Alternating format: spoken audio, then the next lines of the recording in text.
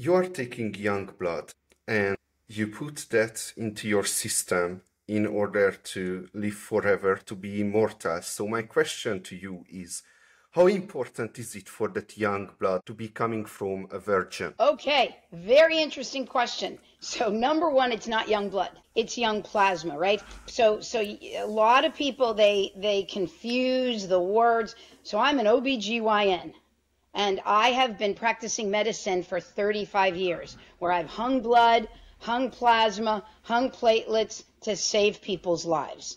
If you see a pregnant woman have a baby and try to bleed, and pregnant women have what's called postpartum hemorrhage, we have to give them all kinds of factors. What we've learned with research is that plasma, which is the liquid part of the blood without the cells from young, mostly college students that volunteer to give plasma, no different than the 30 year old that gives it to the Red Cross, the 50 year old that gives it to the Red Cross. They donate blood, they donate plasma. One of the girls that works in my office donates plasma twice a week. It's good for her.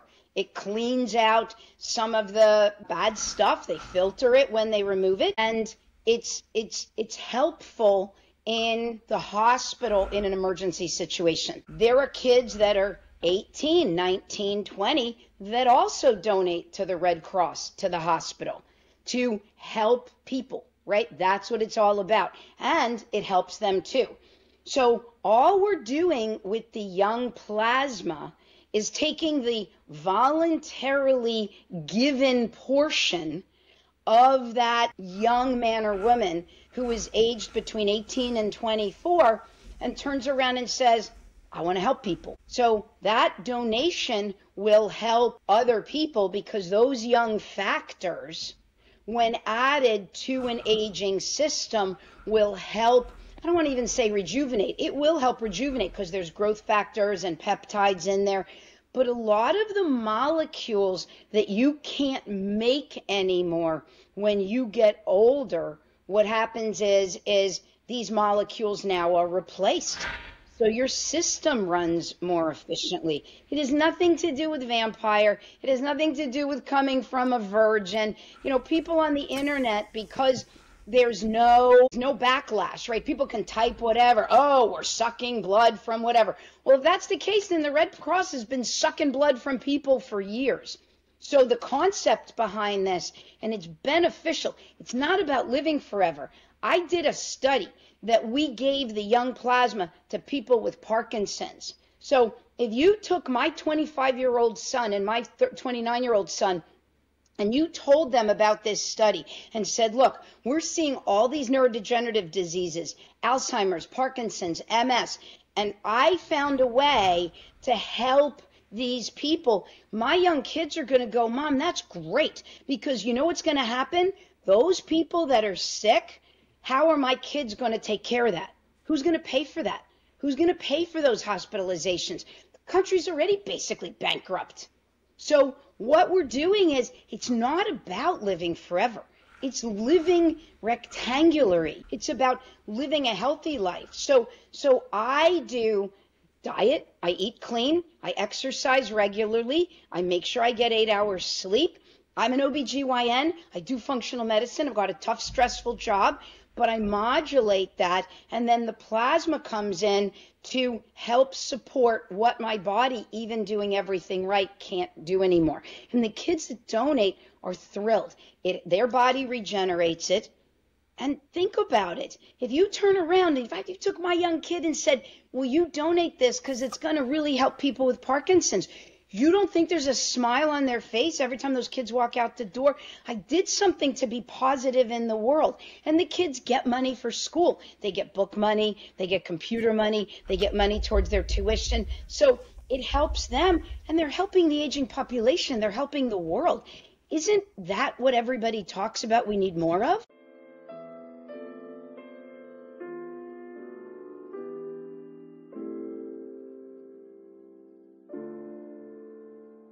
You know, you have an extremely hard job here. It's literally defending the undefendable. In fact, I would like to help you here.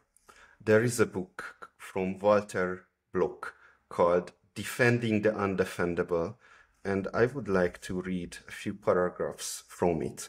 This is from the chapter The Human Organ Merchant.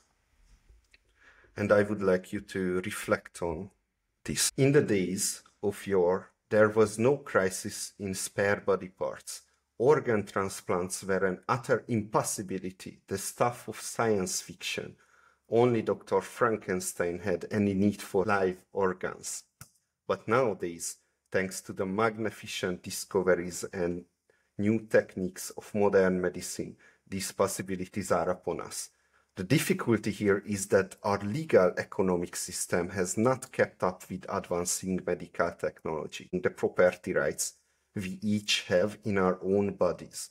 I maintain that deregulation of this market is the solution to the transplant problem.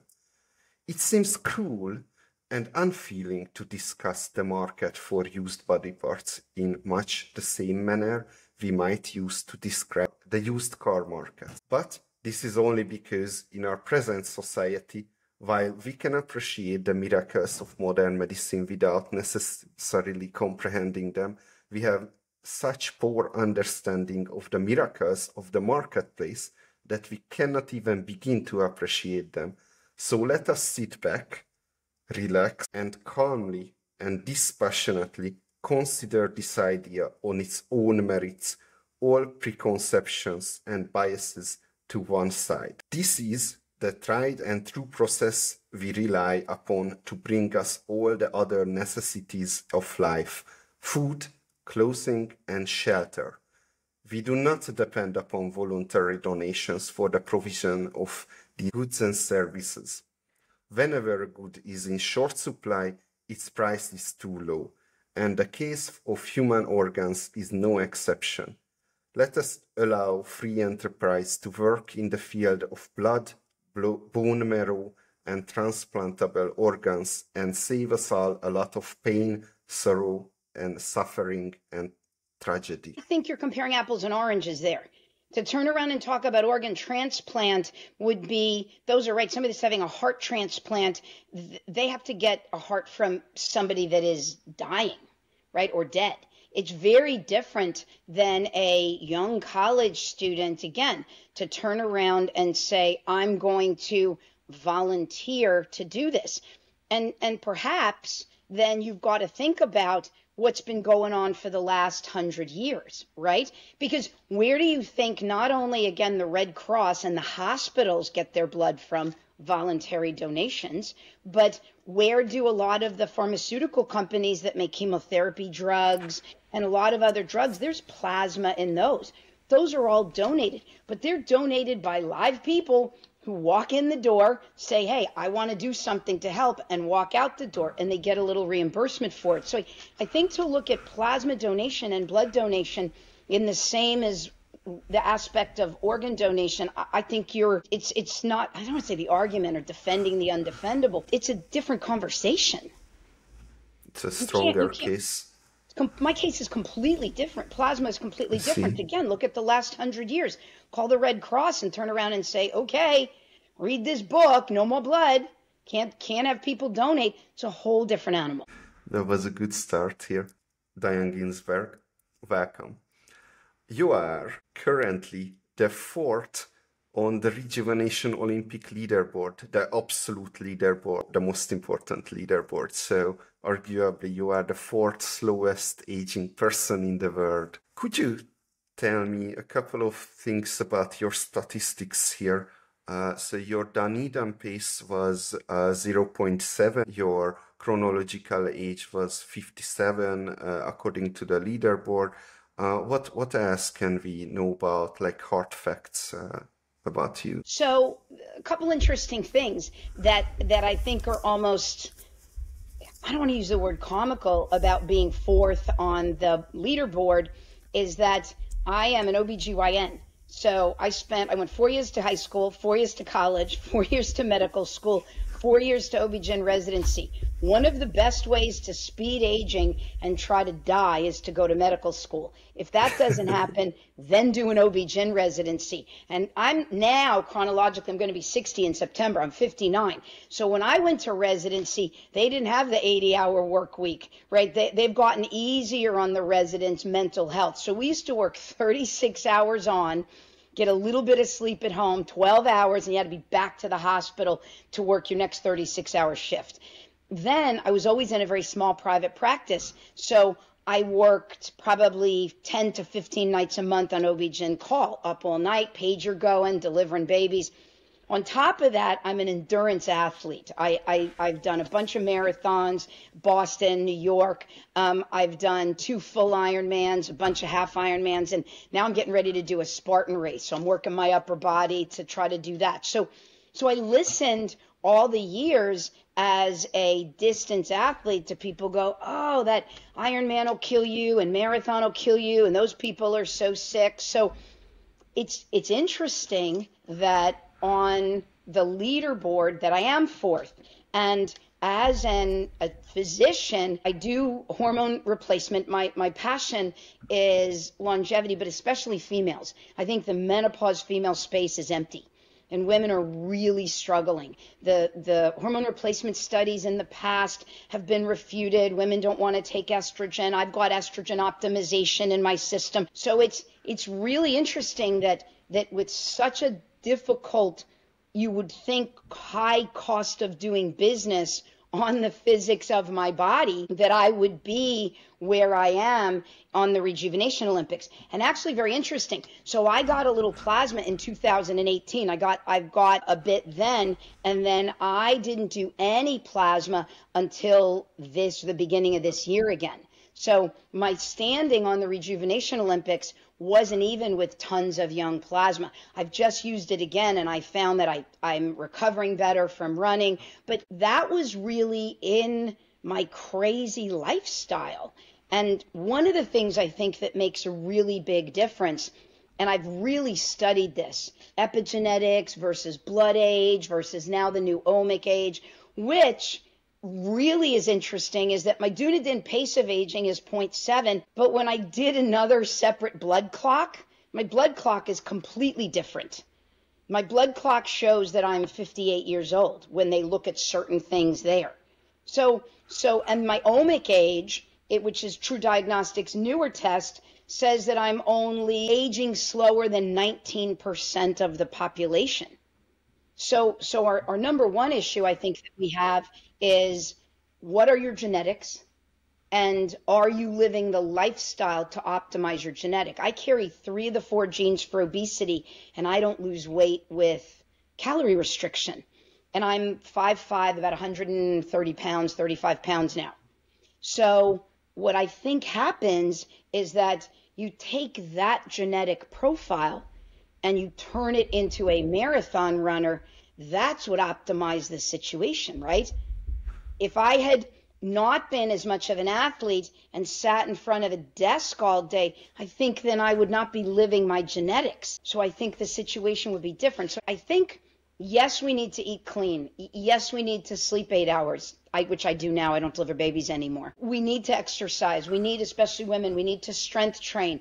That is underappreciated in the world. But I think that the key to longevity is going to be what are you and how are you maximizing that?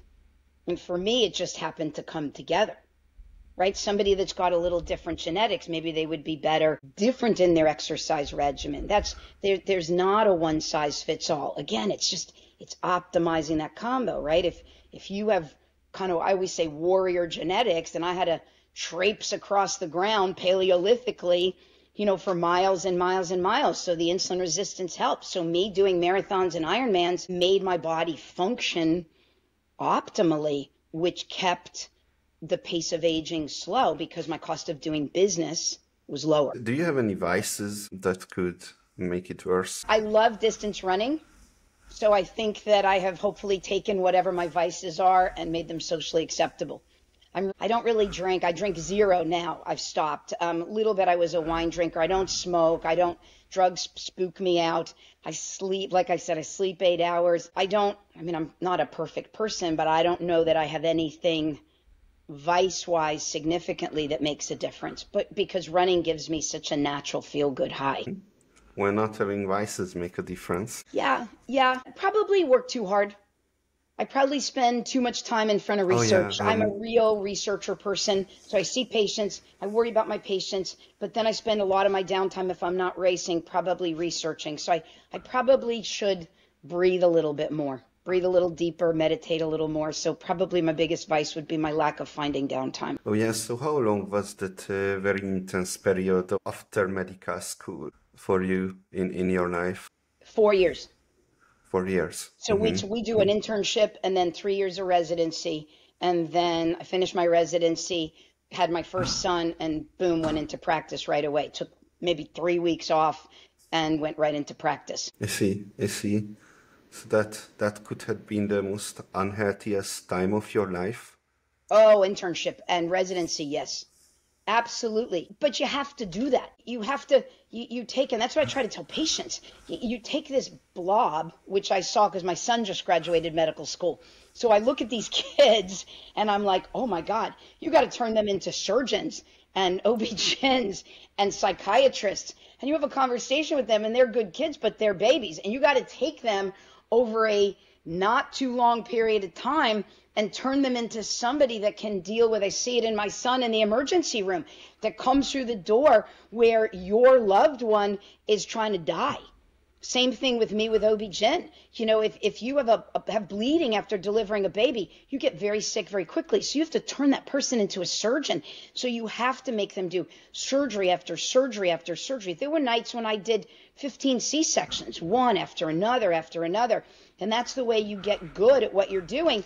But in that, we used I trained at Wake Forest. So we used to eat Krispy Kreme donuts. Black coffee and Krispy Kreme donuts, which are sugar bombs to stay awake. And then the, you had to work all the next day. So that's why I said it was interesting when I saw where I came. in. I'm in Houston, Texas. I don't do ozone. I don't do red light therapy. I mean, I don't do, there's all these other things that a lot of these clinics do that I don't do any of that. And I, like I said, I just started doing the, the plasma. What's the story of your life? So I am a. I was brought up in New York. I grew. I grew up in New York. I'm an only child. Um, I've got a great relationship with my mom and dad. We're super, super close. And I've actually just been giving them. I give them three liters of plasma every six months. My mom and dad are uh, both still alive, and they're. And my mom will be 81 in August. My dad will be will be actually. He was no. He was 81 in January. A, a golfer you know, a handicap is six. They're both healthy people. So I like to believe I inherited some good, strong genetics. And then I did college in, in Pennsylvania, medical school back in New York, and then my residency in Wake Forest. I do believe that my microbiome, my gut bugs, really took a big hit with my New York lifestyle, right? We grew up with fluffernutter sandwiches and Pop Tarts. And, you know, my, my mom would cook, but you know, TV dinners were coming out then and, and, and fast food. I remember the first Burger King opened in New Jersey and we used to go once a month to New Jersey to have a Whopper was a treat. So, so I grew up in that and my mom and dad both work. They're both teachers. So I grew up where, yes, I ate well, but we brought bologna sandwiches to school. What happened then, medical school, again, we lived on Pop Tarts. Had no money you know, you're paying your tuition, you were living in uh, to get by day to day. And then it's same thing kind of through residency. And then very interesting, part of what led me into more of this lifestyle. So I'm living that lifestyle. And then I got married in residency. And coming right out of residency, I got pregnant with Andy, my first son. And he was born at an uncomplicated pregnancy, an uncomplicated delivery. But Andy had no language till he was about three and a half years old. I went to every doctor, no verbal language and no comprehensive language. He didn't answer to his name at 15, 18 months, nothing. And I remember one of his cousins came to visit us, and at 18 months, she was a girl. I had a conversation with her, and I was like, oh my God, there's something wrong with my kid. So we saw every doctor you can think of. I got all kinds of diagnoses. Nobody had any answer. I had barely a talking kid who started to say a few words at about three and a half, and then I had my second son. Still crazy OB-GYN life. And Douglas didn't talk until he was close to five. At three and a half, I had him evaluated, and they told me he was severely mentally retarded and would never talk, had an IQ of 47. One just graduated medical school. He's at Ochsner in an, in an emergency room residency, and the other one is about to graduate with his master's from Baylor. But what took me down that pathway was with the same exact time, the Women's Health Initiative came out that said that hormones were going to give you breast cancer and kill you. So now I got miserable women in my practice. I got two non talking kids, and I was about just over 40 years old, 40, 41 years old. And there was a small compounding pharmacy next to my office who talked about bioidentical hormones and estrogen and women. And I was trying to learn a little bit from him because that was different than the Premarin, the horse pee that was a problem. And I turned around and said, I don't know what I'm doing. I'm going to hurt people. I got to find a conference. And I Googled bioidentical hormone conference and the American Academy of Anti-Aging came up. And I actually had a patient who was a nutritionist who was interested in working part-time in my office. It was before people were really putting nutrition into any kind of doctor's offices and we went to an American Academy of Anti-Aging functional medicine meeting and I was introduced to the microbiome and vitamin D and food and inflammation and it turned my world upside down. And I came home and I, I implemented that with the kids I cleaned up everything. We got them off, and we didn't have all the testing we even have now, but I didn't care. I got them off gluten and dairy. I got them deeper into athletics. My younger one got into triathlon. My older one was playing basketball. So, so there, we were real, real focused with what their food was. And slowly but surely, the language came. The kids changed. I got them on omega. I got them on probiotics. And like I said, the one they both graduated college. One's in his master's and the other one's in med school. So as I saw those changes and started using the bioidentical hormones with women, I saw how well they did. And then I turned 45, 46, and did started to do the micronutrient testing, realizing menopause was coming. So I did micronutrient testing. I did the gut microbiome testing. I did some of my food sensitivities. So I said, if I'm going into menopause, I'm going to go in optimal. Meanwhile, I was running and staying fit.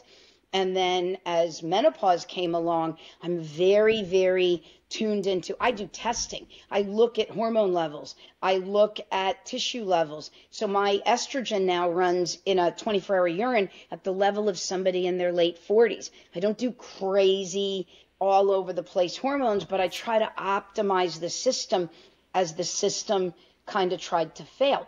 And and one of the things for me that I saw my kids' brains change so dramatically was because of the youthful factors. Right? They say, "Oh, the brain can't do anything after 5." No way. It was a dramatic change even through high school. But again, that youthful factor plus the exercise, the exercise upregulating the growth hormone, getting the microbiome in line, probably dropped the free radicals, which were an issue because I gave them a rotten microbiome from what I was eating as an OB-GYN resident. But it changed. And as I changed that, you saw dramatic positive effects. So the concept says if you can do that, then why wouldn't you take young factors that are happy to be donated and then take that person with Parkinson's or Alzheimer's, like what Dale Bredesen does, and get them off gluten and dairy and, and get them eating cleaner and increase their vegetation and up their vitamin D and give them hormones and then give them young factors. And that's what I hope to do to help for me, rectangular like I said, help that aging process. And if down the road more longevity comes, I think that's wonderful. That's right. That's the space that we're in now. So you brought up quite unhealthily, just a regular American family. And then you ended up having some fairly extreme career and family challenges. And then you have um, encountered longevity and and and that's where your head started to go up from that time and remember I never, I was never quote unquote, I was very blessed. I was never sick. Like even at the time while I was having the kid challenges, before I learned about all of that, I would come home from a long day at work and I would make spaghetti right? Or things were crazy and we would go by McDonald's because I was on call. I was I was like, oh my god, I got to get the kids fed so I can get them set so that I can get to the hospital. And and uh, when my kids were on top of all of that, when my kids were, I think Dougie was about seven or eight and Andy was ten, I got divorced. So now I'm a single mom, OBGYN, right? Tr- kids with me probably 90% of the time. And you got to balance all of that. I mean, I remember it was funny. I remember I had Doug at the hospital one day. The nurses were wonderful watching him. Andy was home. He was a little older. Maybe he was like 14 or 13. He was a little older, so I left him and I had to go on the on the weekend and do an emergency C-section. And I'm in the middle of surgery, and the, this patient's like uterus is on her belly, and the and Andy calls, and one of the nurses picks up my phone, and he says, "Well, can you tell my mom there's water pouring out of the attic all over the house? My hot water heater exploded." So yeah, there's there's been some. I'm like, okay, just tell him I got to finish up here. You know, try to go find one of our neighbors to to maybe turn the water to the house off. But yeah, there's been quite a few challenges, but maybe some of it I like to believe is attitude, right? Keep going forward. And that's some of what marathon running and, and athletics has taught me. And, and that's why, again, I'm very pro exercise because when you can push through things like that, you can push through anything. You, you give me a bit of fear there because so my partner is having a baby, baby in, in two months. do you actually have some some advice for me? What should I do? How should I? So the biggest thing that I can tell you is that things get difficult at the end of pregnancy because you're just tired all the time. You don't feel good, right? So it's it's hard on your partner and and and they're trying to do their live their life and then it's hard on you and you you kind of never you don't know what to do. You do the best you can to be supportive, but it's like nothing makes them happy. So the biggest thing is is make sure that you do everything you can that her food is good and that her brain is calm because that's epigenetically, right, everything we look at, that transfers into the baby. It was really interesting. I did a sort of my own little study when I was still delivering babies, where when we were looking at telomeres, when we used to think that telomeres were the big key to how long your telomeres are, to how long you're going to live. And what I did is I had five patients that I knew very well, and at labor, I did the telomere length and the micronutrients on mom and then in the delivery, whether it was a C section or a vaginal delivery, I did the telomere length and the micronutrients on the baby, on the cord blood, to try to see. And I found it very interesting. There was no real correlation. The only thing I found is that, yeah, you would have terrible nutrients in mom and really good nutrients in the baby. It was, it was pretty fascinating. The more stressed, though, that I saw the mom and dad kind of argue, and the more I knew mom's diet was off, the shorter the telomeres were in the baby. So there's a big pass on, I think, of that epigenetic stress, and we know that, but I, I saw it in the kids. Number two, most of the babies had very low glutathione. So, so glutathione, is a massive antioxidant. I think like 60 or 70 percent of the of the cord blood babies had low glutathione, and I think because cave baby is not supposed to be exposed to the toxic soup, right? Think about it. You're born, you're in the cave, mom protects it, kind of like the Lion King, right? You know, she takes care of Simba in the little cave. And that's why I think my kids had the issues they had. So I, I gave them not a great microbiome because my own gut bugs were terrible at the time, which I didn't realize. And then you got to really be careful. I think it's important to watch what they put in their mouth because their ability to fight the free radicals is compromised. That's just how they're born. And remember, microbiome forms in the first three years. So we don't think about that as much especially when we're on our second and third kid, but even from the first one. So it's important that you, you know, we gave, I gave the baby kids a lot of juice. We give them apple juice. We give them, and I'm not saying you got to breastfeed exclusively. Breastfeeding is good, but the American Academy of Pediatrics says breastfeed for a year. Some people just can't. I couldn't. I breastfed a few months. It just, it just, my milk dried up because I went back to work. But, but I think to do the best you can to to make sure that baby gets outside and gets good circadian rhythm sunshine. Get up in the morning even if the baby's outside for 5 or 10 minutes. Set up the circadian rhythm. Make sure again that the food that you use really look at the formula. Making your own baby food is very difficult but really look at the formula um, if you if you can't breastfeed. When you move to regular food make sure that you know just baby crackers and all that stuff stay away from. I would talk to pediatric pediatricians. They'll tell you to supplement with probiotics. They'll tell you to supplement with a little vitamin D. So I think building that baseline in that baby, the gut and the, the health and lowering again the cost of doing business. That's what it's all about. Everything is physics. If you do that, I think you'll enable, right, less gut brain axis inflammation. That's where I think my kids became dyslexic. So that those free radicals, the brain couldn't form itself. So therefore the nerve endings became a little bit of an issue. So the more you kind of lower that cost of doing business, I think the healthier you'll be, your baby will do great. All right. Well, good nutrition and calm mind. And interesting, if you really listen to even the aging gurus, right? Even Brian Johnson, who's measuring, you know, everything he possibly can. If you listen to him on podcasts now, his five pillars are, I think, like diet, exercise, sleep, nutrition, and I can't remember the last one, but it's the pillars that we've always talked about. Morgan Levine wrote True Age, right? She's kind of the big epigenetic person from Yale that's now at Altos Labs. Her book says the same thing diet, exercise, stress relief, and sleep. Can I challenge you on that? Yeah.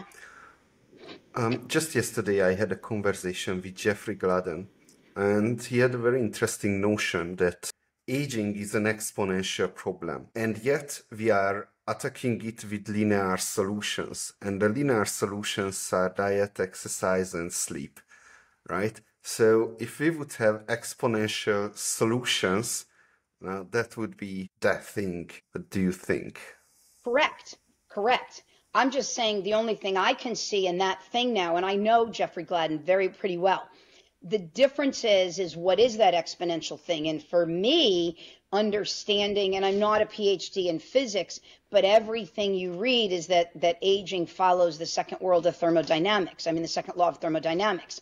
It's no different than your car. When you drive that car for the first couple years, you don't have a problem. But as you beat those molecules down more, you exponentially blow your car up because you can't recover it as well right? The engine is not quite as smooth.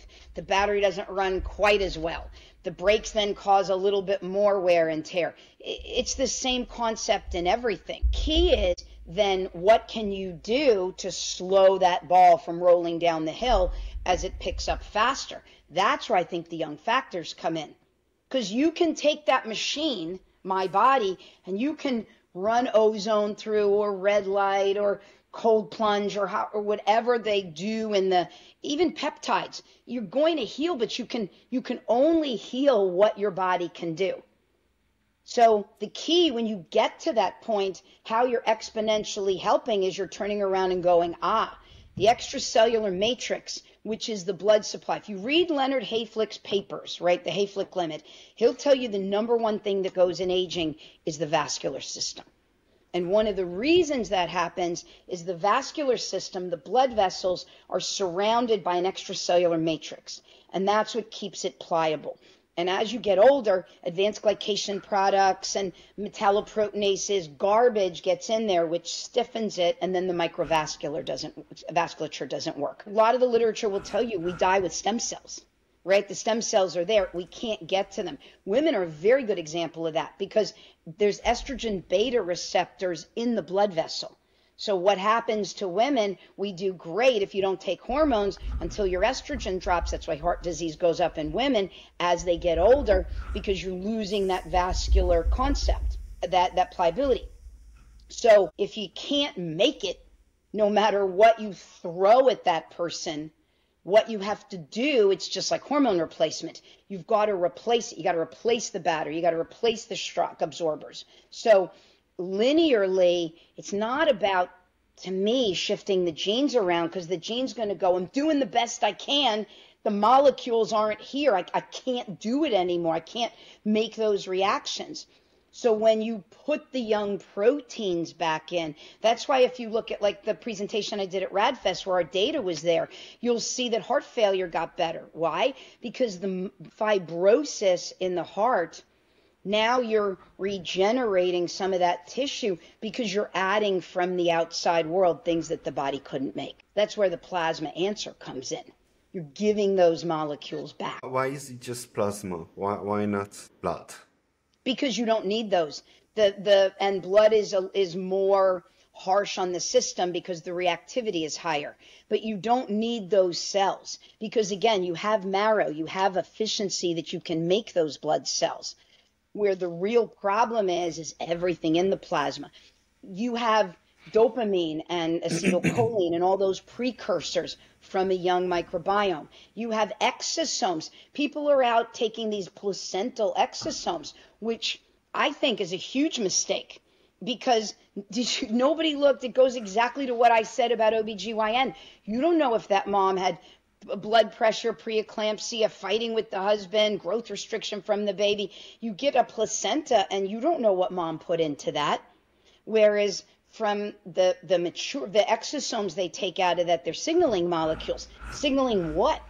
As you get older you can't receive the signal anymore because the other molecules go away. So it's the exosomes are in the plasma but so are the peptides so are the young microbiome products so are all the healthy molecules that can replace those glycation products. All of those things that are in that young system that heal that young system. Look at the marathon runners right? The kenyans those guys are so efficient. So you get a machine that is efficient and it then produces all these wonderful things and you watch how fast the body moves. That's what you're doing from the kids that donate plasma. They're healthy, they're fit, they go through all kinds of screening, all kinds of testing, and their protein levels are good, their their numbers are all good, and then they're volunteer. They give you those products that help your body continue to function, just like changing the battery in your car. Plasma is important from another point of view as well, because there is a theory, and I, I, I think I, I got the debunking of it, but uh, please reflect if I'm, I'm right or wrong on this. I want to understand.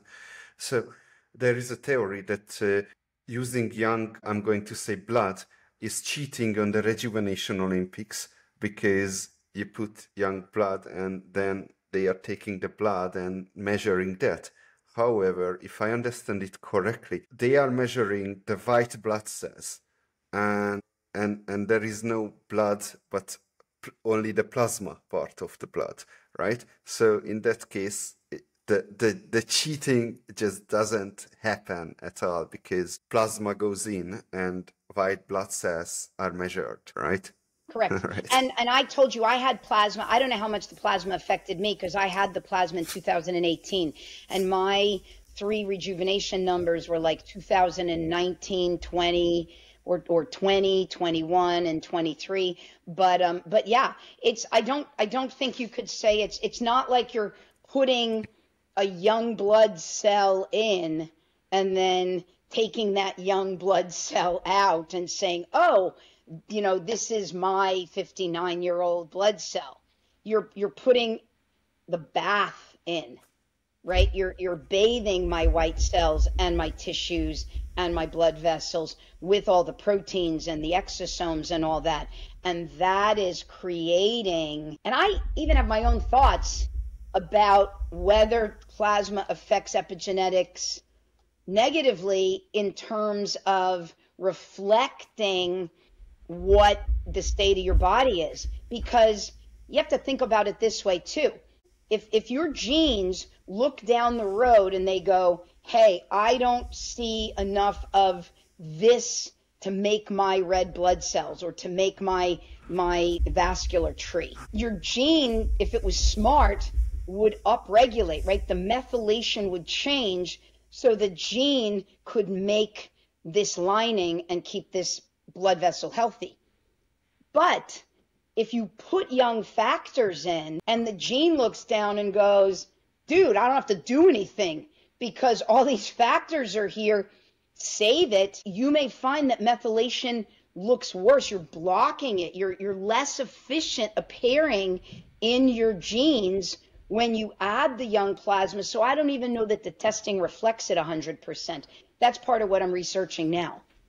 Body doesn't have to work as hard because you've replaced this here. So I don't right. know in the long run that the, the, the pace of aging is the be all end all, that epigenetics is the be all end all because there's so many things that can affect it. And then TruDiagnostic then came out with their omic test that they said is even better. And it, it doesn't even, for me, it doesn't even correlate with my, my Dunedin pace of aging because it's saying, oh, mm-hmm. and my age, I'm pacing, aging so slow. Well, why am I only then, it said I'm only aging better than 19% of people in my age group.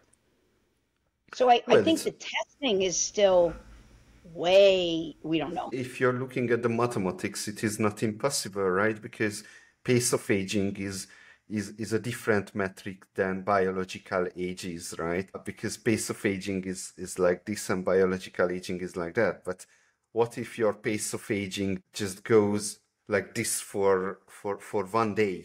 Then your biological age can go up like crazy, and you, you know. Like, you had to do three. You had to do three tests that's why the rejuvenation Olympics is three tests. Because if there was a zebra in there, you would look like I was 0.8, 0.7, 0.7 over my three months. I mean, uh, we should uh, be testing every day. Yeah, so there's a paper that, that I just saw that said that epigenetic age varies up to two to three years throughout the day. Mm-hmm. So, so that's why I'm saying I, I think that there are things that we need to think about that relate to this that say, wait a minute, what I'm putting all this stuff in here, then these guys just don't have to work that hard. So you may see methylation changes based on all this stuff you're putting in the body. And I, just think that's something that people haven't considered when looking at that as a testing modality. When you're adding um, so much new stuff in. Even if we assume that uh, uh, these epigenetic aging clocks are perfect, then even if we assume that we we, we still have a problem there, a correlation causation problem. Although it's debatable that causation even a thing, a phenomenon that exists, but uh, anyhow, correlation is not causation, but that's quite 100%. a hint. Hundred percent. What do you think about that? How much does does it make sense to optimize for epigenetic ages? and are we just are we gonna make a make a sizable difference in aging or we, we just don't know how how deep the epigenetic age is there yes it's exactly what you just said because there are papers out there that basically say that that the like the alzheimer's predisposition or the parkinson's predisposition is on these genes but epigenetics this is what changes right the whole key is to, for me, to try to avoid disease as much as possible, right? To rectangularize our age. So we can be as healthy as we can, as long as we can until our time comes. But if, if, if, so then if you're saying that aging is where disease comes in, then logic would say, okay, well, I want to follow this epigenetic change because when this goes here, this gene goes bad, but the genes that are creating the problem are not always related to the epigenetic changes. So, yes, there is correlation more than causation, but that's because where it's coming from is the data that's chosen, right? So for Dunedin pace of aging, like, like, and I don't really understand this, and I've, I've talked to Ryan at TruDiagnostic about it. When they did the Dunedin pace of aging, one of the, the they used a bunch of markers, right? They correlated the methylation to a bunch of, of real markers. Well, one of the markers that they used is the LP little a. And the theory is, is the LP little a, if you have inflammation issues and plaques in your system, the LP little a can make your plaque worse, which can increase your risk of heart disease. So I got dinged for the LP little a because I have it, but my total cholesterol and my triglycerides and my LDL and my VLDL are all really good. So my LP little a is walking around going, okay, you know, whatever. I've got no, my C-reactive protein's normal. There's, you know, is there anybody like a bully can't do anything if he doesn't have kids behind him?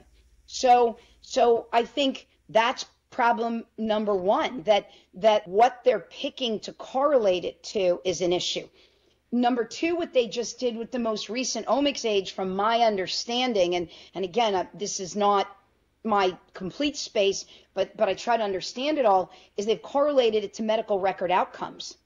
So they they looked at the methylation, then they looked at that's where the Harvard data came from. Then they looked at the actual data, and then they looked at the patient outcome. So if your hemoglobin A1C, you know, your prediabetes marker was up, how does that correlate with methylation? And then when did you die? And so that's what they're what they're correlating. So that again, the question is is is it correlation that way and then they're going, well, therefore if you look like this, that group of people died younger, so you want to look like this group of people.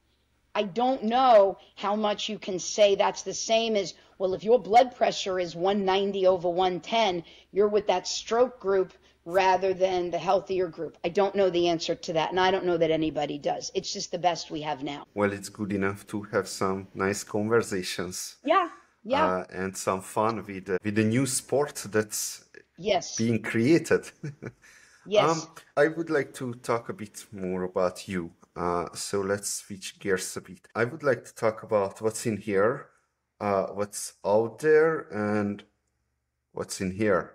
So Firstly, are you spiritual? Yes, and the older I am, the more I am. I'm fascinated with Donald Hoffman and uh, and the concepts of what are reality.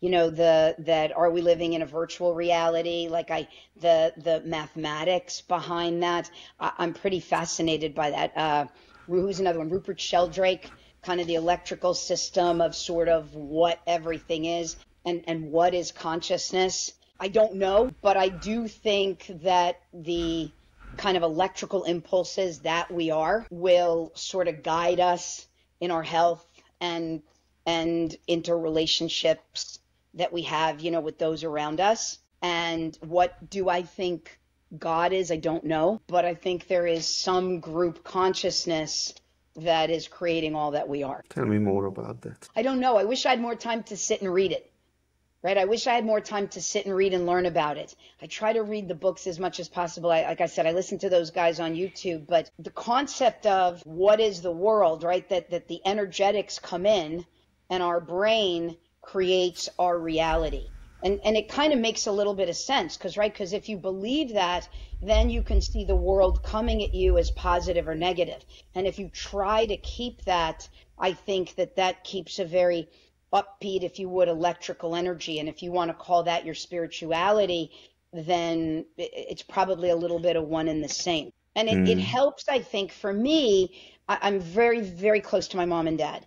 And where a lot of this, I think I've gotten away more from the practicality, the OB-GYN, the, the, the day-to-day pounding into more of that thought process is as I watch my parents age. And I think, you know, you know what I mean? You turn around and you say, okay, there's a practicality of I'm going to give them young plasma and I've got them on vitamins and I'm doing what I can, but but my folks aren't going to live forever. And we have to be able to cope with horrible things that happen in the world and things that happen in our life. And I want to be able to feel that everything all is one. So when something does happen and my parents do go, I can move forward. It's one thing to deal with your death and the events leading up to your death, but it's almost a completely different thing to deal with the death of others. Yes, and my death I wouldn't have an issue with except my kids need me one of the things that helps me is my dad is just an amazing guy.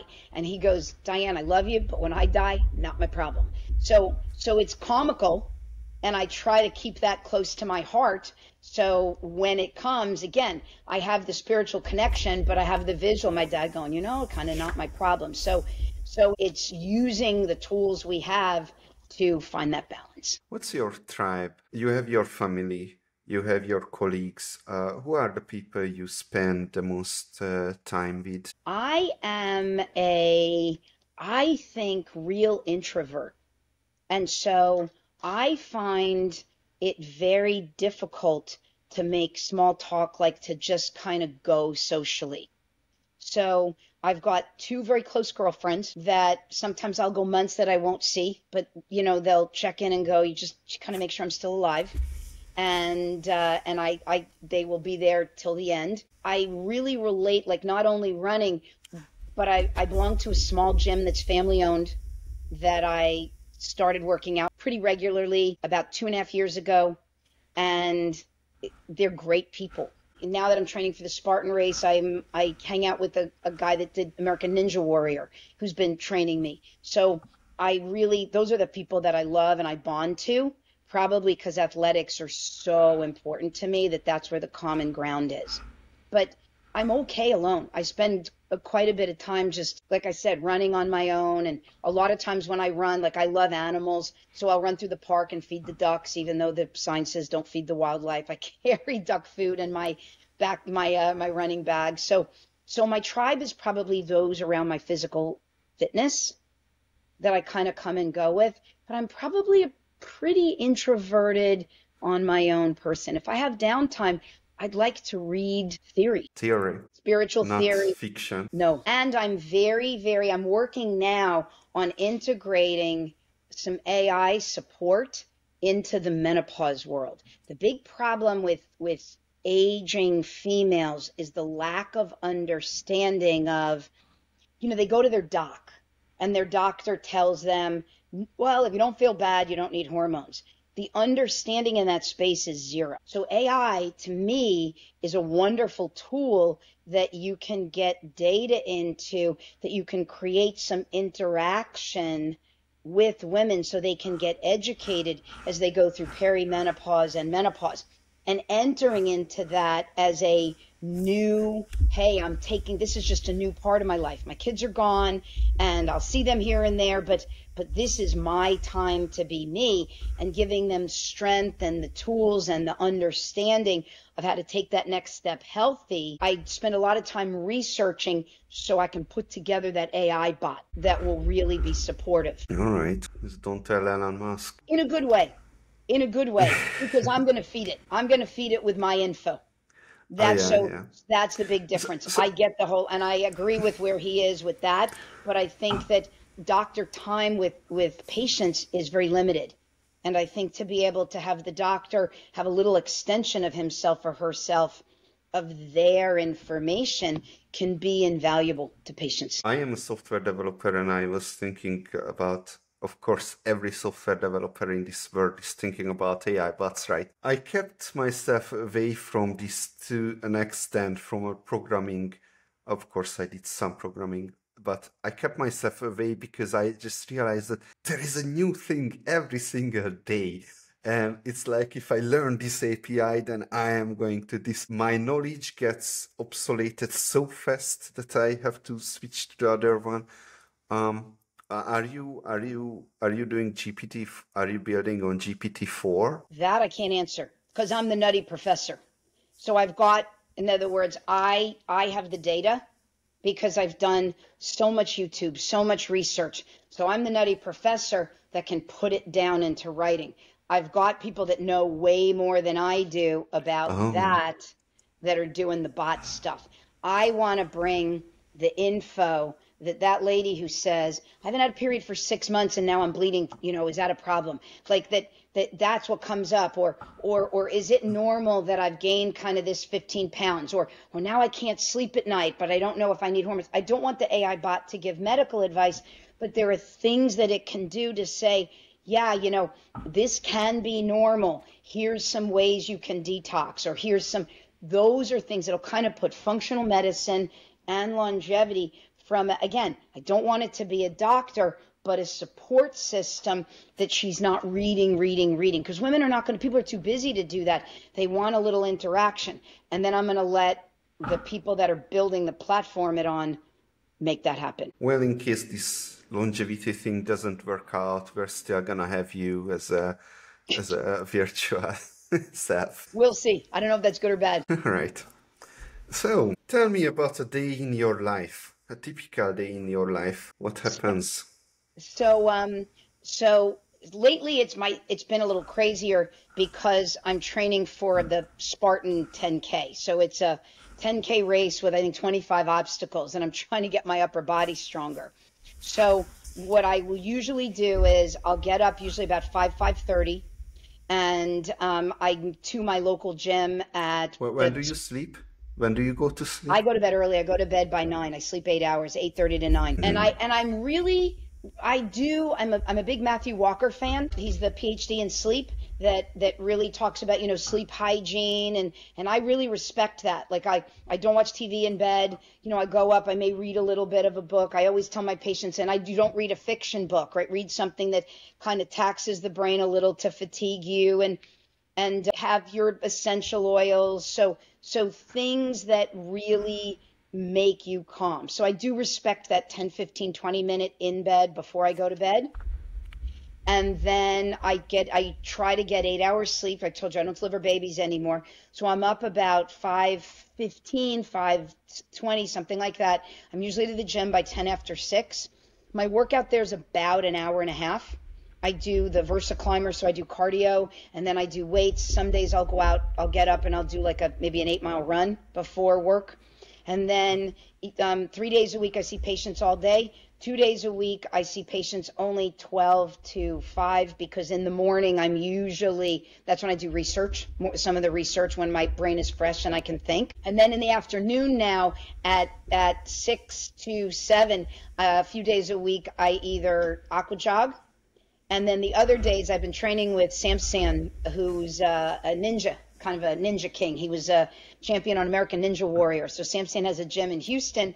So I've been going to Sam's gym and he's been doing lessons with me to to teach me to, to kind of ride, do the rings and ride the obstacles better and, and build my strength. And and I I generally only eat about two meals a day because I'm not real hungry in the morning. My food is pretty clean. My carbohydrates are sweet potato or white potato or butternut squash. I do track my protein. So I do, you know, my weight divided. So I use divided by the 2.2 times 1.5. So I do a bit of protein and a protein drink through that. And then I try to make sure I get enough protein through the day. And I try to get two to three cups of vegetables. I'd love to get more. Uh, or four cups of vegetables in a day on a good day. A day that I'm not super hungry, maybe only two, two and a half. And then I, I, the best thing you can do, and I just can't always do it. And I tell my patients, you have to give yourself some grace, right? You don't want to eat two hours before you go to bed. But sometimes when my workout, if I'm done with patients and my workout is later, if I don't get home until seven, seven thirty, and I eat and then I go to bed at nine, it's not optimal. But I do what I can, right? And I and again, I have to give myself a little bit of grace. And I so I try to eat up, a bigger meal. Say that again. But you still wake up yeah. when you don't get yeah. Yeah, mm. yeah. So like I said, I try to I try to do the best I can to balance what I can while giving myself grace if it doesn't work out perfect that day. That's that's very intense routine there. Yeah, little bit, and then I'll do a little bit less. Like I may not do as much at night after the race. Give myself a couple weeks to recover. But even then, I love to run. I love to lift, and I think you know it's less intense because I it's a sedentary lifestyle, right? I mean, seeing patients whether you're in person or on the computer or, or doing research, you're still sitting still and I have a standing desk. It helps me because I fidget a little bit. But if you realistically think about it, if you sleep eight hours and you work eight or nine hours behind your desk, you're spending a ton of time doing nothing. So it sounds like a lot to get up and exercise for an hour in the morning and at night, but it's really not. Because because you would have done so much more in caveman times. And even if people don't want to go to the gym and swing from the bars, you have to do strength.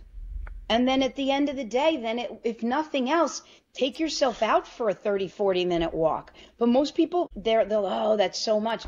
But again, if you really look at your day, even if you're running errands or you're you're busy, you're still sitting. You're driving your car. You're running. We do. We live a very sedentary lifestyle. We go to the grocery store. You know, we don't pick our own food. So we we really don't do that much physical activity even though we go oh i've had a long day and i try to get people to kind of see that perspective have you heard of gtg greasing the groove with some uh, russian technique where a workout technique where you work out throughout the day but uh, in small doses. So there is not not specifically there, but I know that they have like the scientific seven minute workout, and they'll say even if you do seven minutes, you know, you do like jumping jacks for 30 seconds, and then they give you a five second rest, and then you do wall sit.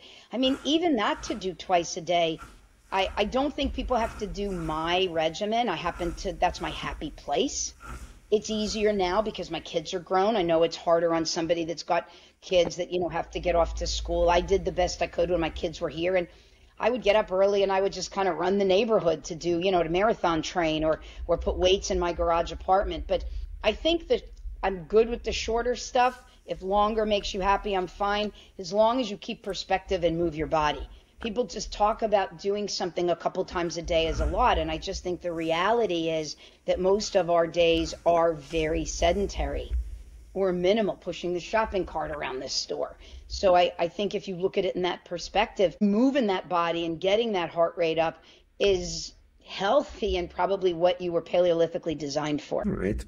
And what environment are you are you are you doing all this in? Like um, air purifiers, uh, circadian lighting, uh, nature. Uh, what what what environment did you create for yourself? So I do nothing fancy in my house.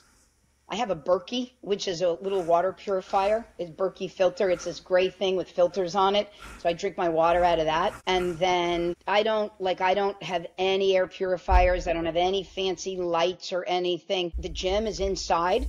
I like nature. So like I said, my long runs are through the park. But sometimes if it's the end of the day, my long run is on the streets.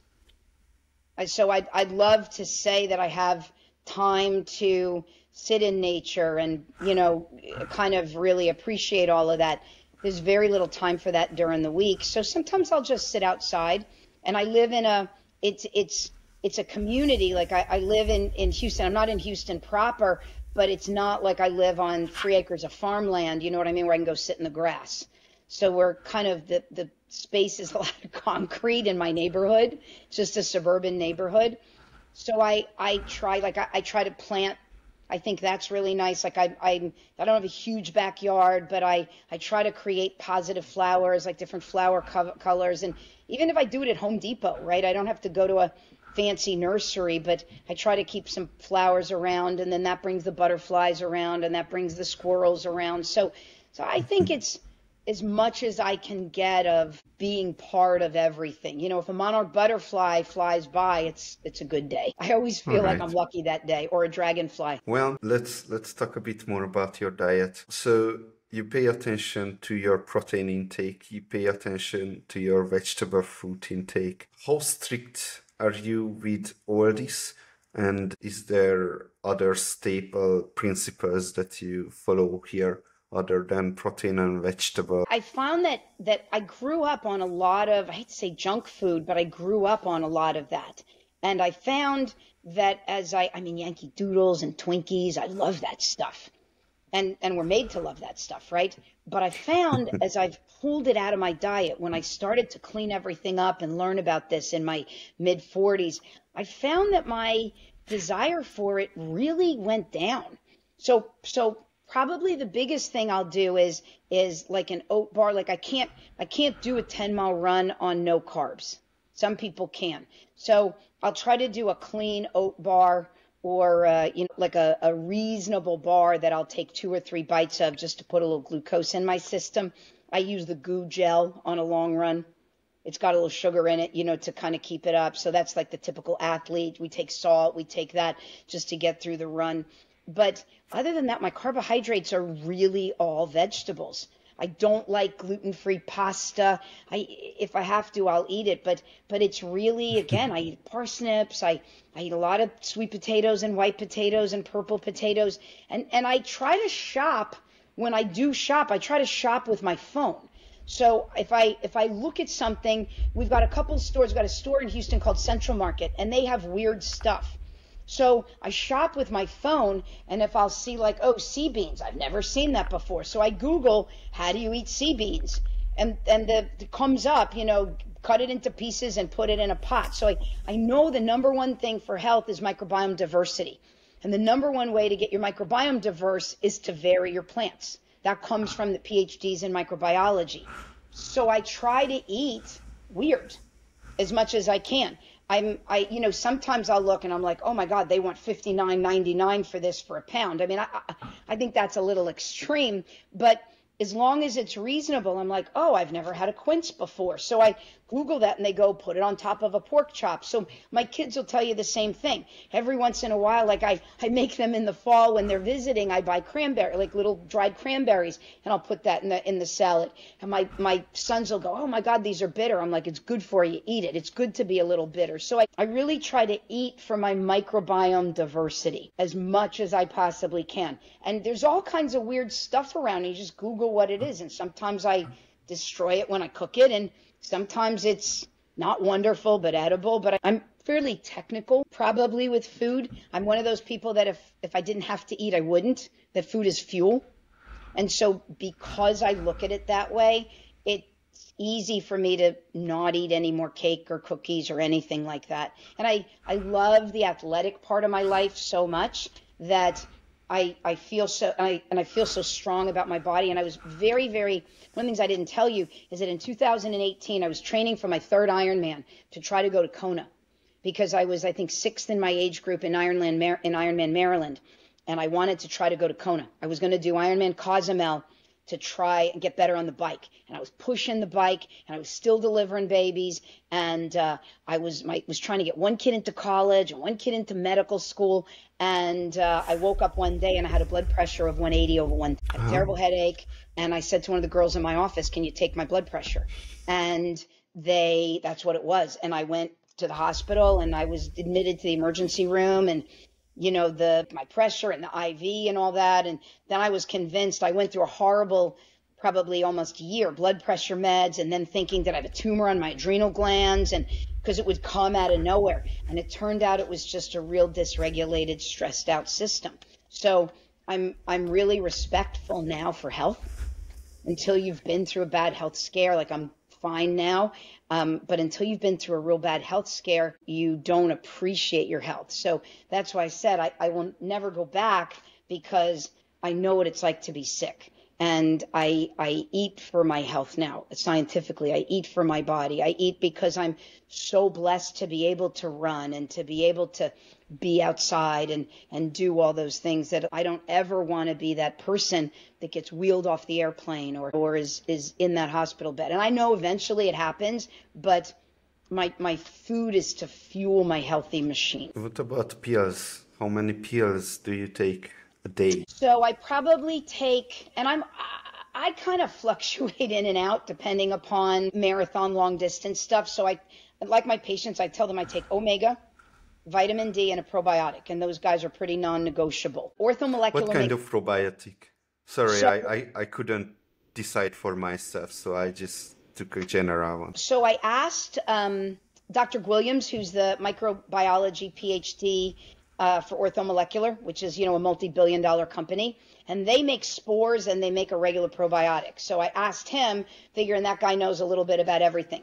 He said that there's no spores in our body naturally, and that basically most of the makeup is different lactobacillus and bifidobacter. Yeah. And that when the body gets out of whack, what'll happen is is your C. diff can overgrow, so Saccharomyces boulardii eats that back down again. So everybody's like, oh, should you rotate your probiotics? What should you do? But if you really take a good quality probiotic, right? Let's say there's 10 companies. You, I'm not, you've got to be very careful what you buy off the shelf. If you know you're buying from a good quality company, if you read the back of all the probiotics, they're basically the same. They've got lactobacillus strains, they've got bifidobacter strains. Like I said, orthomolecular and they're orthobiotic. They add Saccharomyces boulardii. I know, I think uh, a company just came out with Akkermansia, and that's supposedly Akkermansia um, by itself supposedly helps the GLP. So for people that are struggling with weight, they're saying that's a GLP activator, you know, people that, that, that can't lose weight. So that may have its niche. But I think as long as you're using a good quality company, remember, and this is what I learned from the, the microbiology guys, the bugs aren't doing much. The bugs that you take are wimpy little guys that have been grown in a garden. the bacteria that are in your gut are like wolves, whereas the guy in your pill is a chihuahua. So they're related but distant. So what happens is the chihuahua dude comes down and the wolves are all over the place. The big thing that happens is the immune system in the small intestine says, Who are you and why are you here?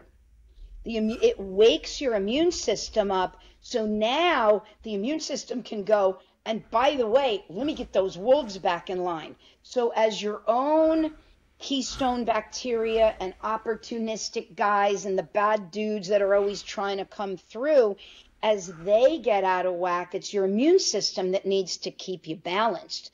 So, really, mostly what your probiotics are doing is waking up your immune system more than actually bringing bugs down to do anything. That's why even people that go to Walmart and take, you know, over the, they'll take just basic probiotics and go, oh, I felt a little better. Because even the dead guys freak out the immune system and it reorganizes the gut. So I don't recommend you going to the Walmart wall or the, you know, the, the get go to a good company, Designs for Health, Orthomolecular, Metagenics, you know, a reasonable company, uh, Pure Encapsulation, Xymogen. So whatever you you each person particularly trusts in that company, Seed Probiotics. But I'm but in under, Eastern Europe. I'm gambling on all this. well, so you just go to a company that you know has got kind of a pharmaceutical grade that they say they've been stamped by somebody that says the stuff in your pill is not salt. Mm. So so that I take that and then I take a multivitamin that's made by by a company that's got just a bunch of bees, a bunch of good minerals in it, and it's got a bunch of antioxidants. And so it's in a powder. So because I do the protein powder, I do a, a, a low pasteurized whey protein, and then I put some of the MitoCore in that also. And so that's but but it's a powder. So I guess you could if you were going to take it in a pill, they, they, they sell a product with pills. It's like four pills, like a good multi. But I just drink that after my workout. And then I take what I think is a really good idea is I take proteases. So as we get older, What? it's protease, P R O T E A S E. So a protease is almost like like um, that product that they used to make the Roomba. You know that that that guy that goes on the floor, the vacuum that just kind of goes around and sweeps everything up. They call it a Roomba. Well, that's kind of what the protease is. Your body makes them, and they naturally go around the gut and clean up the mess. Because you know eating is so traumatic. It rips your gut lining. It upregulates the immune system. Bacteria die. When bacteria die their toxins come out all over right? That's why when when we talk about leaky gut we'll tell people they're like oh i don't have a problem with gluten but but gluten is a foreign object and the immune system doesn't recognize it so you may not necessarily have celiac but when you eat that you create an inflammatory reaction and so everybody does. So now you're killing bacteria and you've got toxins a little bit everywhere. So at the end of the meal, no matter what you eat, it's like somebody just threw confetti all over. And when that stuff sits there, it gets infected. And that's what creates problems with the gut lining and leaky gut and all that stuff that we hear about. So what the proteases do that your body naturally makes is they come down and they clean up the mess. They Roomba up the mess. The problem is, is they're very expensive for your body to make. They require a lot of ATP and a lot of energy. And we know as you get older, all the efficiency of everything goes down and your ability to make those proteases decreases. So I take two protease on an empty stomach in the morning and at night to help kind of clean up my gut as much as possible. And that's it. And I take some magnesium to help me sleep. I Wait, take wait, a little wait. magthreonate to help me sleep. But I take estrogen and progesterone. I take bioidentical hormones. I take a good dose of Biest and I take 150 milligrams of slow release progesterone at night. Okay, so vitamin D, fish oil, uh, probiotics. Pro. Pretty much a multivitamin, antioxidant, and protease. Okay, that's that's that's not a big step there. Oh I mean, yeah. it's a decent I yeah. one, but not huge. No, no, I don't, and I've seen that. Like, like there are people that stack tons and tons. Yeah, no, because then I think what happens is then they, the average person, you you try to give them that, and then they're so sick on pills, they're not eating real food. The key is to get fiber in and to eat real food, and then to turn around and say, okay, like if I move to Alaska, you can take fiber supplements as well. why would you do that? Eat a string bean, right? If I moved to Canada, I wouldn't take fish oil because I would, or Alaska, I should say, I would eat halibut and salmon. So I really encourage people, and I try to do the same thing to just eat food. Get your fiber from your cauliflower. Do you do anything extra, like something that other people don't usually do? Hyperbarics or uh, other than the blood plasma? Not at all. I wish I did. I don't have time. I always say that I've got my What kids do are. you wish? I, I've got two kids. Uh, Andy is just finished up. He's in residency, and Dougie's finishing up graduate school. So uh, I would like a sauna, an infrared sauna.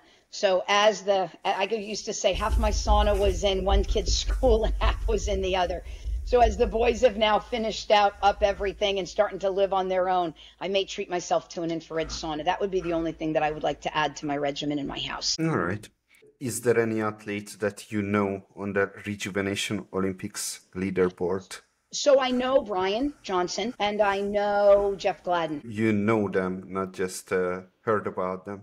No, I know them. I, Ah, Jeff okay. Gladden, I, Right.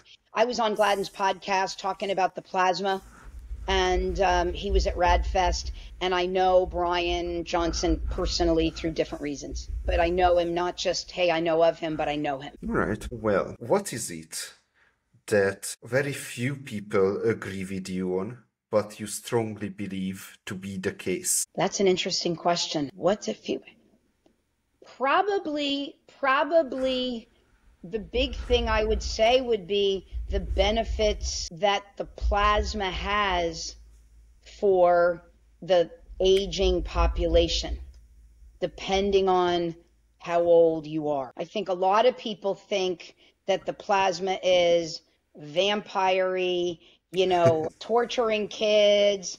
And because of the story that came behind it with Jesse Karmazin and, and all of that that happened in the past, and it, it, it hasn't been looked at really clearly again, and everybody else is just keeps hanging it on the rats, which I don't understand why.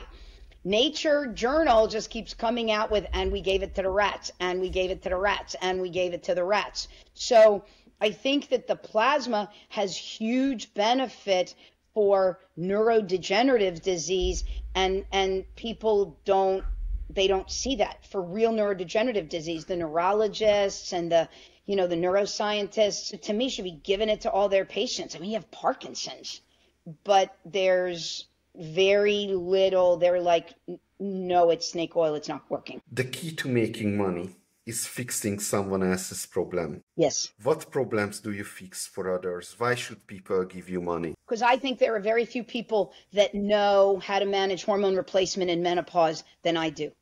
What I know, I know. What I don't know, I don't know. But I can tell you that I know and I can read perimenopause through menopause. And I think that there's women that are really start to struggle younger with hormone fluctuations. And they go to their OB-GYN who is not trained to read the labs. And not that I even got trained in it, but I've looked at thousands of labs. And there's a lot of subtleties that will change that you can see in a lab profile that is not picked up by a typical doctor. And that woman is miserable and she's in her 40s and her, or, or late 40s or her early 40s and she's still having normal cycles and she's got heart palpitations and she doesn't sleep well and she doesn't feel good and she goes to her classic doc and he just says, "Oh, you need Prozac.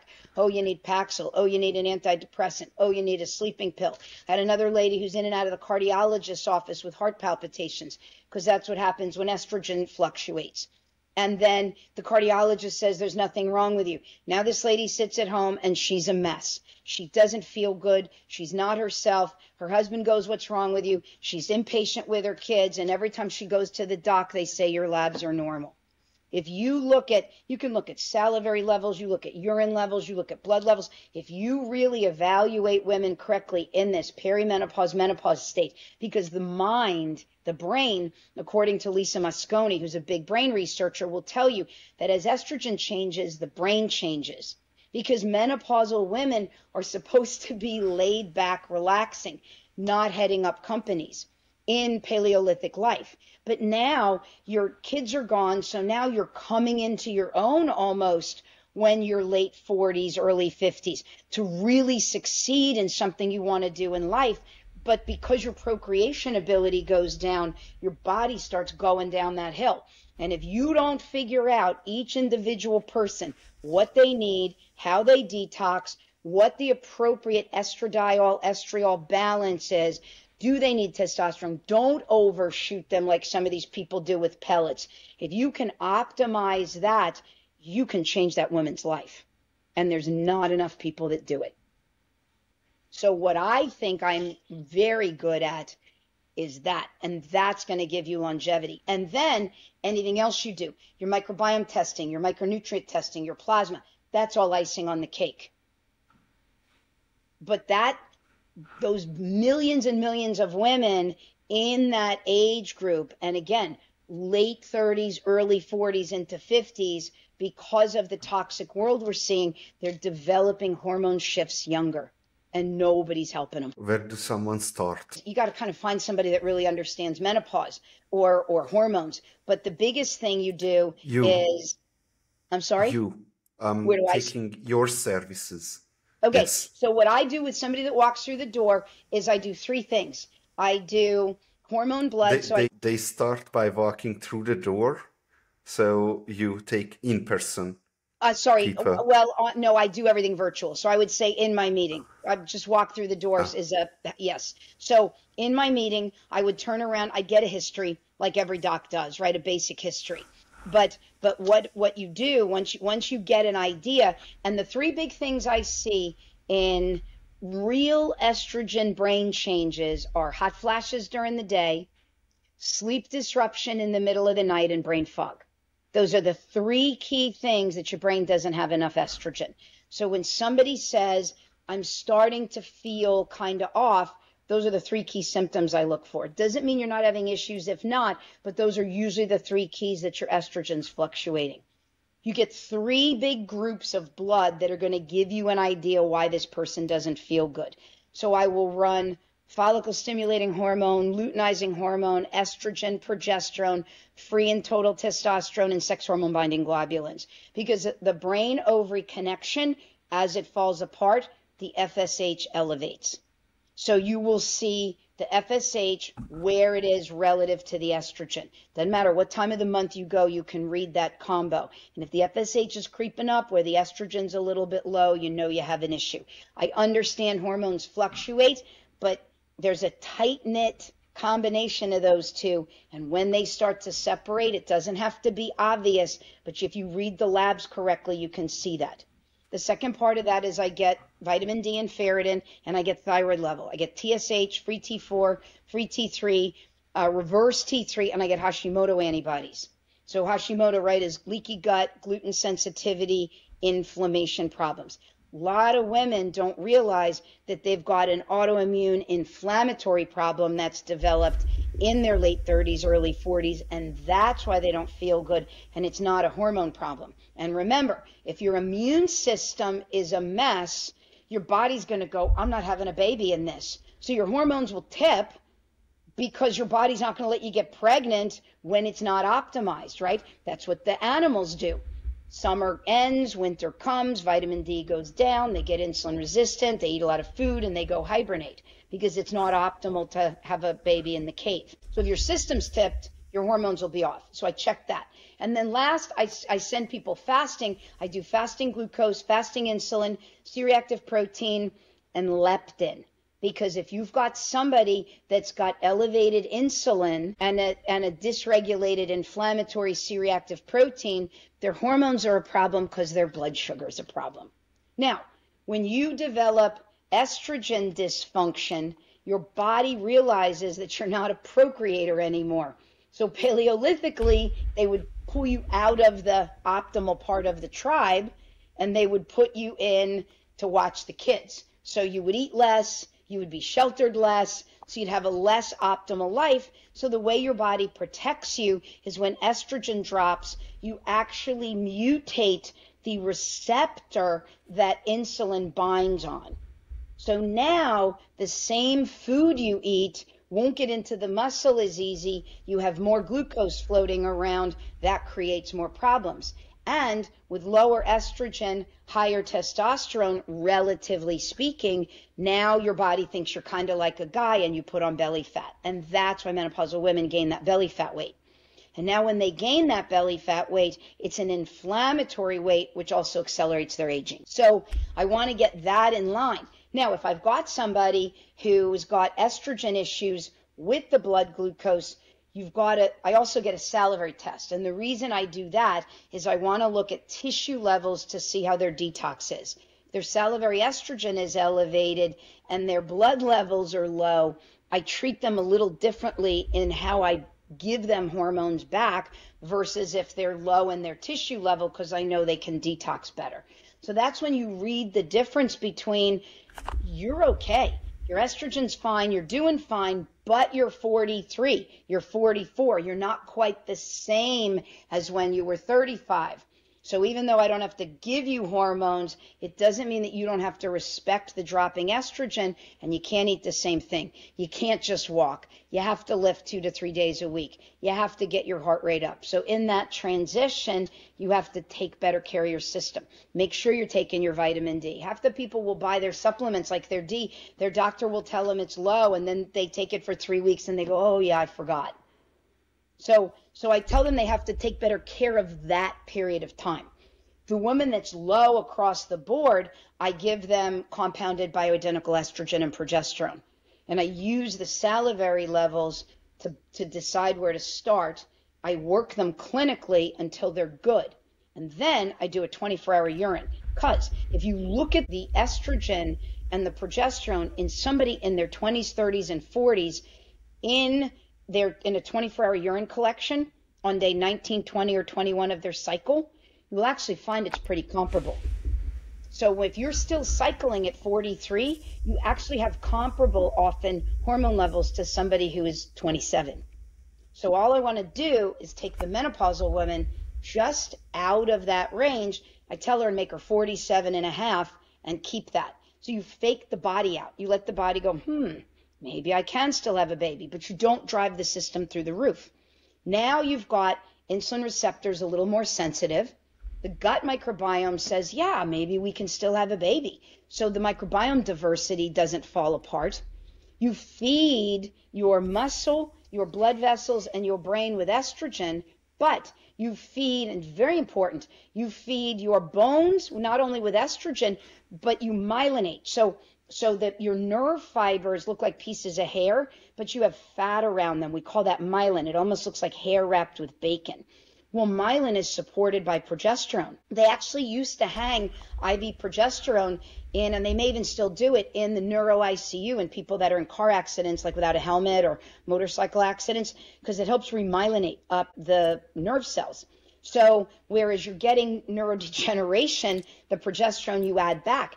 That's why even if you've had a hysterectomy, it's really important for you to talk to your doc to make sure that they give you, or I would tell the patient, I don't care what anybody's telling you. You need your bias, your estrogen, and you need your progesterone. You also need a physiologic amount of testosterone because if you shoot testosterone through the roof in a woman that's older, any woman, you actually slow down mitochondrial function. It's in the literature.